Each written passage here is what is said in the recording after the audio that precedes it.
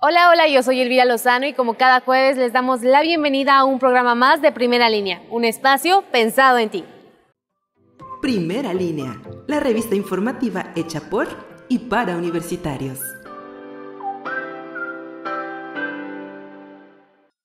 Hemos iniciado el mes 2 de este 2024, es por ello que en el programa de esta semana, en la sección de anecdotario, te compartiremos algunos datos curiosos y muy interesantes sobre el mes de febrero. Por otro lado, falta poco para los festejos tradicionales del Día del Amor y la Amistad. Es por eso que en la sección del cuarto de Geek te compartiremos una selección de las mejores películas para que tengas un gran maratón ya sea con tu pareja o amigos. Y en la sección de vida estratégica te cómo enfrentar el miedo al que dirán y así poder atrevernos a hacer lo que realmente nos gusta. También en la sección de Mundo Animal conoceremos los distintos tipos de razas de conejos existentes y algunas de sus principales características. Y hablando de animales, ¿alguna vez te has preguntado si los animales sienten? Pues en la sección del semillero tendremos respuesta a esta gran pregunta. Y en la sección de ciencia y tecnología conoceremos algunas de las razones principales del por qué nos suele gruñir nuestro estómago. Para finalizar, en la sección de literatura, conoceremos una ingeniosa novela que mezcla realismo, ironía y misterio, del gran maestro de la novela victoriana Charles Dickens. Y en la sección de salud conoceremos algunas de las enfermedades tropicales que han sido desatendidas. Así que bienvenidos y comencemos. Hemos iniciado el mes 2 de este 2024 y para conocer mejor de qué va, nuestra compañera Diana Espinosa nos trae algunos datos muy interesantes y curiosos sobre el mes de febrero. Anecdotario. Hola, ¿qué tal? ¿Cómo están? Espero que se encuentren súper bien. Sean bienvenidos una vez más. Mi nombre es Diana Espinosa y el día de hoy te voy a estar compartiendo 5 datos curiosos sobre el mes de febrero. Se tiene entendido que la palabra febrero significa purificar y por eso este es el mes establecido para la purificación. Con excepción de los años bisiestos, el mes de febrero también es el único que tiene exactamente cuatro semanas. El 5 de febrero se conmemora el Día Nacional del Pulque. El pulque es una bebida tradicional mexicana que adquiere su sabor y valor después de dejarse fermentar por varios días. Este proceso de preparación para esta bebida empieza desde la extracción de una planta de maguey y todo es completamente hecho a mano y con mucha dedicación. El 9 de febrero se conmemora el Día Mundial para los Amantes de la Pizza. Como ya lo sabemos, el 14 de febrero se celebra el popular Día de San Valentín o el Día del Amor y la Amistad. Pero hoy te compartiré algunos datos sobre este día que son muy importantes. Abrazar a tus seres queridos es un analgésico natural. La oxitocina, conocida como la hormona del amor, es la producida en los momentos en los que se da o se recibe un abrazo. Las experiencias de algunas personas a largo plazo revelan que su felicidad y el cumplimiento de sus metas personales giran alrededor del amor o simplemente la búsqueda de un amor. Tomarte de la mano con las personas que más amas puede llegar a aliviar el dolor o el estrés. Entre algunas investigaciones científicas se revela que las personas que tienen alguna pareja con la que tienen una conexión muy profunda pueden llegar a aliviar el dolor o el estrés del uno o del otro con el simple hecho de tomarse de las manos. El 24 de febrero se conmemora el Día de la Bandera de México. ¿Sabías que los colores de la bandera tienen un significado y con el paso de los años ha ido cambiando? Por ejemplo, actualmente el color rojo hace alusión a la sangre derramada por los niños héroes que lucharon contra el México libre. Por otro lado, el color blanco significa el color de la paz y la unión que se aspiraba tras la cruel guerra. Y por último, el color verde que es el que hace referencia a la esperanza. Y pues bueno, estos solo fueron cinco datos curiosos sobre el mes de febrero. Espero que te hayan gustado, que se lo compartas a tus amigos y a tu familia y nosotros nos estaremos viendo en un próximo video. Odiada por unos, celebrada por otros. Así es como un nuevo 14 de febrero se escribe en la historia de este mundo, ya sea para celebrar la amistad o el amor. San Valentín, el nombre comercial con el que también se le conoce, nunca pasa desapercibido. Es por eso que en la sección del cuarto de Geek te compartiremos una lista de las mejores películas para que puedas disfrutar de un gran maratón, ya sea con tu pareja o tus amigos. El cuarto de Geek. Odiada por unos y celebrada por otros. Así es como un nuevo 14 de febrero se escribe en la historia del mundo este miércoles del mes 2 del 2024. Ya sea celebrando la amistad o el amor, San Valentín, el nombre comercial con el que también se le conoce este día, no pasa inadvertido. Y por eso, a continuación, destacamos algunas películas con una temática romántica que se encuentran además disponibles en Netflix. Así que si eres de los que planean celebrar algo tranqui en casa frente al televisor, ya sea con tu pareja o con tu amistad, aquí te van algunas recomendaciones. En segundo lugar tenemos la película titulada Todas las veces que nos enamoramos. Aquí los protagonistas desde que se conocieron se han enamorado muchas veces, se han separado otras tantas y lo han vuelto a intentar. Una película muy entretenida y divertida donde encontraremos una divertida pareja que está conformada por Irene y Julio. En tercer lugar tenemos la película Tu casa o la mía. En esta los protagonistas Debbie y Peter son mejores amigos y a pesar de ser muy distintos, ella disfruta su rutina como madre en Los Ángeles y él ama lo impredecible de su vida en Nueva York. Pero cuando intercambian casa y estilo de vida por una semana, descubren que lo que creen que quieren no es exactamente lo que necesitan. Blue Valentine. Aquí una joven pareja enfrenta dolorosas y crecientes grietas en su matrimonio al recordar el dulce y vertiginoso romance de enamorarse años atrás, sin contarles más para que ustedes vayan a ver. En quinto lugar tenemos Romance en Verona, donde aquí la película se narra en un viaje soñado de Julia a Verona, Italia, que da un giro cuando descubre que la casa que alquiló está ocupada por un atractivo desconocido, una película que ya desde su título nos induce a un romance. En sexto lugar está Hair. Esta se desarrolla en Los Ángeles del futuro leve, donde un escritor solitario desarrolla una relación con Samantha, una entidad artificial perspicaz y sensible. Sería interesante conocer ese tipo de relación y si hay humor detrás de todo. Por último, tenemos la película titulada A todos los chicos de los que me enamoré. ¿Quién no ha mandado alguna carta de amor a un ser amado? Se siente una gran tensión eh, a la hora de enviarla y recibir alguna respuesta. Ahora imagínate enviarle una carta a cinco enamorados, pues algo así viene desarrollando la historia de este film. Pues cuando las cartas de amor secretas llegan inexplicablemente a los cinco chicos de los que se ha enamorado, la apacible vida estudiantil de Lara Jean se pone patas de arriba. Y pues bueno, esas fueron algunas recomendaciones. Yo soy Elvia Lozano y espero que tengan un gran y feliz San Valentín.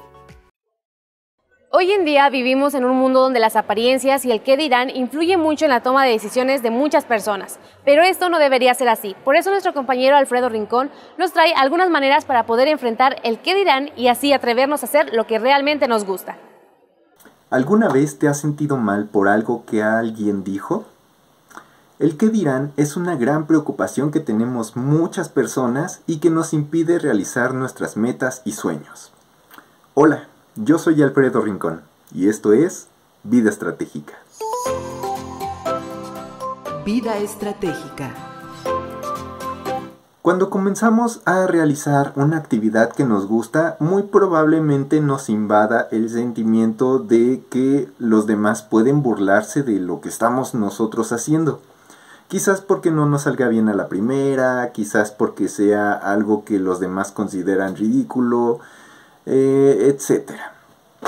Bien, el que dirán es un pequeño bache, de hecho es un gran bache que tenemos en nuestra vida y que nos impide mejorar en las actividades que nos gustan a nosotros.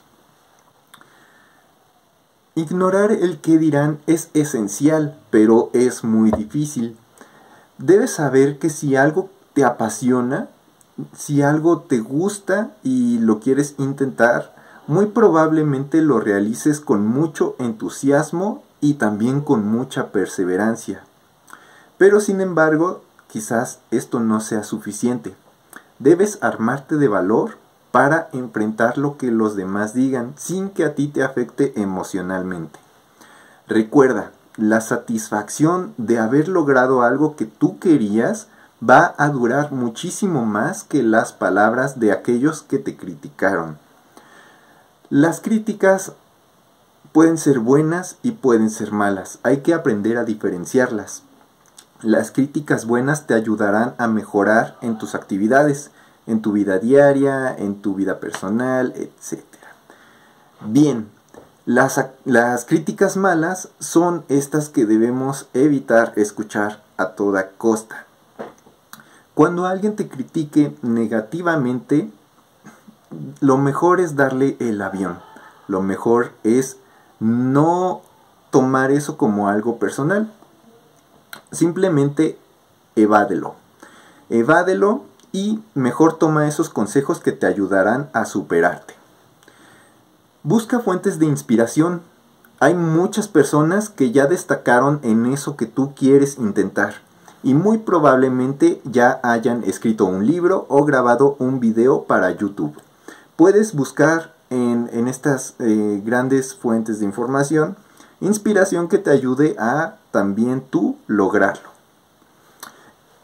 Y sobre todo, después de que ya buscaste inspiración, de que ya te compartieron a ti esa información, cuando tú lo logres, sé también una fuente de inspiración para los demás. Es importante que si tú recibes algo, también des algo sobre eso que estás recibiendo. Así que ya lo sabes, el qué dirán, puedes hacerlo a un lado y enfocarte en lo que realmente quieres. Saludos y hasta la próxima. Los conejos son animales sumamente territoriales y entre ellos existen razas. Y nuestra compañera Brenda Gutiérrez en la sección de Mundo Animal nos estará platicando de las diferentes y diversos tipos de razas de conejos y algunas de sus principales características. Mundo Animal. Hola, yo soy Brenda Gutiérrez y esto es Mundo Animal. El día de hoy te invito a que conozcamos algunas razas de conejos que existen en el mundo. Así es que acompáñame a ver el siguiente video. Blanco de Hotot. El conejo blanco de Hotot fue creado en Francia por Eugene Bernard en el año de 1902, concretamente en Hotot en auge, y desde entonces se ha vuelto muy popular por su aspecto dulce, aunque su tenencia es limitada, pues no existen muchos criaderos. Es una de las razas de conejos más bonitas y como características físicas resaltan sus enormes ojos castaños enmarcados por un círculo negro que destaca sobre su manto de color blanco. Le encanta comer algo que si no se controla adecuadamente puede derivar en obesidad. Rex. El conejo Rex puede ser de dos tamaños. Por un lado nos encontramos con el ejemplar estándar, que suele ser más grande, llegando a pesar hasta 5 kilogramos, y por otro lado el ejemplar mini, que a diferencia del anterior pesa entre 1 y 2 kilos. Se trata de la raza de conejos en México que es muy popular y que hay de todo tipo de colores, incluyendo el negro, el chocolate, rojo o blanco, y puede presentar o no manchas. Destacamos así su pelaje que es súper suave al tacto. El conejo cabeza de león es muy popular por su largo y divertido pelaje, que recuerda, como bien lo indica su nombre, a la cabeza de un león. Originario de Bélgica, el conejo cabeza de león se considera como una raza propiamente dicha, aunque recientemente muchos creadores hacen mezclas entre el conejo belier y el cabeza de león, dando como resultado un ejemplar algo más grande. Belier se trata de otra de las razas de conejos en Argentina y México. El conejo Belier destaca por sus largas orejas caídas, que le dan un aspecto tierno y melancólico. Hablamos de un conejo dócil y tranquilo, especialmente dulce. English Angora. A pesar de su nombre, English Angora procede de Ancora, Turquía. Se trata de un conejo de tamaño medio grande, ya que su peso ronda entre los 2.5 y 3.5 kilogramos. Este ejemplar, por lo general, es muy dócil y tranquilo, aunque a la llegada a un nuevo hogar se mantendrá tímido y reservado. Estas fueron algunas de las razas que existen en el mundo. La verdad es que todas me parecieron muy tiernas y muy lindas. Sin duda alguna, los conejos son unas excelentes mascotas para tener en casa. Claro, teniendo los cuidados necesarios. Bueno, esto ha sido todo por el video de hoy. Yo los espero la siguiente semana con más de Mundo Animal. ¿Te has preguntado alguna vez si los animales sienten? Es decir, que sean capaces de sentir como lo hacemos los seres humanos, pues nuestra compañera Rebeca Mata en la sección del semillero nos estará aclarando esta gran pregunta. El semillero. Hola, bienvenidos al semillero y hoy vamos a hablar sobre un tema el cual no sé si alguna vez te has preguntado si tu perrito, si tu gatito o tus pajaritos e incluso tus pececitos sienten. Se ponen tristes, se ponen alegres, eh, están deprimidos o están incluso ansiosos. Bueno, pues de hecho, los animales sí sienten. Así es, existen diferentes estudios que han mostrado que los animales también tienen sentimientos. Obviamente que para nosotros los humanos a veces es un poco complejo entender los sentimientos de los animales e incluso interpretarlos, ya que a veces para algunos de nosotros está incluso complicado, diferente, difícil entender nuestros propios sentimientos. Ahora entender y ser conscientes de que los animales también tienen sentimientos y ser conscientes de que a veces también las actividades humanas o cómo están los ambientes, los entornos, los afectan. Así es. A los animales también les afecta el entorno donde los ponemos, los ambientes en donde se encuentran, cómo viven y la vida y la calidad de vida que les estamos dando. Y pues por eso te traigo este tema hoy, porque usualmente se nos olvida tal vez o creemos muchas veces que los animales simplemente son objetos, que simplemente están ahí, que no nos entienden, que no sienten nada. Y la realidad es que sí, existen, como te vuelvo a decir, existen muchos estudios que lo demuestran, que han demostrado que los animales tienen diferentes relaciones cognitivas, este, cuestiones neurológicas, conexiones neurológicas, que hacen que el animal tenga sentimientos. Entonces también tu perrito se puede sentir muy feliz o muy triste. Y yo creo que este es un muy buen tema para que puedas observar a tus animalitos, para que podamos ser más conscientes también de lo que estamos haciendo y también nos demos cuenta de que tal vez nuestro perrito lo estamos haciendo sentir triste o lo hacemos sentir feliz o cómo podemos también apoyar a que pues, los animales se sientan menos tristes en entornos o en ambientes que estamos modificando y estamos alterando. Y bueno, por mi parte es todo. Nos vemos. ¿Te ha pasado que estás bien tranquilo y de repente te gruñe el estómago? ¿Te has preguntado por qué sucede esto? Nuestra compañera Laura Vázquez Ayala, en la sección de Ciencia y Tecnología, nos estará platicando algunas de las razones del por qué sucede esto. Ciencia y Tecnología. El día de hoy vamos a platicar de un tema muy interesante y que a todos nos ha pasado alrededor del día. Y estamos hablando nada más y nada menos que de los ruidos del estómago. Así que acompáñame a descubrir cuáles son las razones por las cuales se pueden llegar a presentar. Los ruidos excesivos en el estómago pueden tener diversas causas y van más allá de solamente tener hambre. Número 1. Nos vamos a referir a las dietas estrictas. Y esto sucede porque si de un día para otro dejamos de comer más de lo normal, nuestro estómago lo va a empezar a resentir. Es por ello que los regímenes alimenticios que prohíben una gran cantidad de alimentos así como calorías son los que más provocan ruidos excesivos en el estómago. Esto es porque generalmente el estómago suele estar vacío y en dado caso el alimento que se consume se procesa rápidamente. De modo que el aparato digestivo va a comenzar a enviar señales a nuestro cerebro para indicar que tiene hambre. 2. Consumo de bebidas gaseosas. Los ruidos en el estómago generalmente son consecuencias de la mezcla de los alimentos que comemos. Es por ello que si llegamos a beber bebidas gasificadas o refrescos podemos llegar a empeorar la situación. Esto es debido a la cantidad y a un aumento de burbujas que se van a producir en nuestro estómago. Estas se van a reventar en las paredes de nuestro estómago y se van a producir los famosos brr, que se llaman borboringos.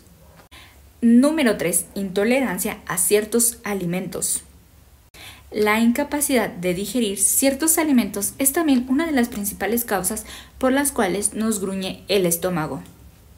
El ejemplo más frecuente es la lactosa, la cual la encontramos en la leche, yogur y queso. Ahora te voy a platicar algunos consejos sobre los cuales podemos aplicar si nos llega a gruñir el estómago. Lo primordial es masticar bien los alimentos. Es necesario que tus comidas las hagas con tranquilidad y sin ningún estrés. Toma un vaso de agua y no respires con demasiada profundidad cuando estés comiendo. Finalmente, puedes llegar inclusive a consumir menos cantidad de alimentos, así como evitar aquellos que causen gases. Ahora ya conoces un poquito más sobre cuáles son algunas de las causas por las cuales nos puede gruñir el estómago durante el día, así como algunas recomendaciones que puedes llevar a cabo para evitar todo esto. Espero que esta información te haya sido de gran utilidad. Te saluda Laura Vázquez. Hasta la próxima. Grandes Esperanzas, así es titulada la ingeniosa novela que mezcla ironía, realismo y misterio, del gran maestro de la novela victoriana Charles Dickens. Y en esta ocasión nuestro compañero Andy Blanco en la sección de literatura nos estará platicando más detalladamente sobre esta gran obra literaria. Literatura. Hola, ¿qué tal mis queridos amigos de primera línea? Yo soy Andy Blanco y el día de hoy hablaremos de Grandes Esperanzas de Charles Dickens. Fue una novela publicada como serie desde el 1 de diciembre de 1860 hasta agosto de 1861 en la revista literaria All the Year Round, la cual había sido fundada por Dickens el año anterior. Es considerada una de sus más grandes y sofisticadas obras, así también como una de las más populares, siendo esta adaptada a obras teatrales y cinematográficas en más de 250 ocasiones. La novela narra la historia de Philip Pirri, un huérfano aprendiz de herrero cuya aspiración pasará a convertirse en un noble caballero, describiendo su vida desde su niñez hasta su madurez. Se puede decir que se trata de una novela de aprendizaje. La historia se puede considerar también como semi-autobiográfica de Dickens, al igual que muchas de sus obras, en las cuales mezcla experiencias de su vida y su entorno social. La historia toma desde la víspera de Navidad de 1812, cuando el protagonista tiene solamente 7 años de edad hasta el invierno de 1840. Y bueno amigos, espero que les den muchas ganas de leer este libro. Yo soy Andy Blanco. Si quieren saber algo más, pueden dejarlo en los comentarios. Hasta la próxima. Este pasado 30 de enero fue el día de las ETD, es decir, de las enfermedades tropicales desatendidas. Y nuestro compañero Axel Pacheco en la sección de salud nos estará platicando sobre las ETD, su relación con la pobreza, las poblaciones vulnerables y también el poco o nulo acceso a la salud. Salud. Hola, ¿qué tal? Mi nombre es Axel, me da mucho gusto como siempre tenerlo nuevamente por acá. El día de hoy los invito a que me acompañen, pues estaremos hablando de las enfermedades tropicales desatendidas, aprovechando que este pasado 30 de enero se celebró el Día Mundial de estas. Acompáñenme. El 31 de mayo del año 2021, la Asamblea de Salud de la Organización Mundial de la Salud reconoció el 30 de enero como el Día Mundial de las Enfermedades Tropicales Desatendidas. Este día tiene como objetivo el dar a conocer el impacto que tienen estas enfermedades en las poblaciones más pobres del mundo. Las ETD, como también se les conocen, son enfermedades que proliferan en lugares tropicales y en donde el acceso a la agua potable, a la salud pública, a la electricidad, a los servicios básicos no es, más, no es muy accesible y estas son producidas por algunos microorganismos de los que ya hemos hablado en videos pasados. Estamos hablando de virus, hongos, bacterias, parásitos, algunas toxinas. Esto no solamente va a condiciones sanitarias, sino también sociales y económicas. Muchas de estas enfermedades se transmiten por vectores, tienen que ver mucho con animales, por ejemplo los mosquitos. Los mosquitos son unos grandes vectores para transmitir ciertas enfermedades como por ejemplo el dengue. Algunas de estas enfermedades, aparte del dengue, está el chikungunya, por ejemplo, la lepra, la enfermedad de Chagas, la leishmaniasis, solo por mencionar algunas. Estas enfermedades son desatendidas porque apenas aparecen en los programas de salud mundiales. Son pocos los recursos que se destinan para hacer frente a estas enfermedades, en su parte, como les decía al principio, porque las enfermedades o los lugares donde se desencadenan estas, este tipo de afecciones son lugares donde no se tiene este gran capital, acceso a agua potable, salud pública, la educación. Y aquellos lugares en donde sí cuentan con el capital para hacer frente a estas enfermedades están más preocupados por cumplir o mejorar su programa de salud actual, que sea más universal, por ejemplo. Zonas rurales, zonas en conflicto o zonas de difícil acceso son los lugares donde estas enfermedades se van a reproducir mejor. La Organización Mundial de la Salud tiene programas específicos para prevenir, controlar, eliminar y erradicar este tipo de enfermedades. Debemos reflexionar y hacer algo al respecto al conmemorar este tipo de días. Debemos empezar por nosotros mismos siendo responsables y actuando como comunidad. Por mi parte sería todo, espero verlos en la próxima y muchas gracias. Agradecemos a todos aquellos que nos sintonizaron a través del sistema de Cablaret. Te invitamos a que te suscribas al canal, compartas con tus amigos y actives la campanita de notificaciones para que seas la primera o el primero en ver todos nuestros videos. Recuerda que también nos puedes seguir a través de nuestras redes sociales como Facebook e Instagram, donde podrás encontrar mayor contenido que te aseguro será muy de tu interés. Y nosotros nos estamos viendo muy pronto en una emisión más de Primera Línea.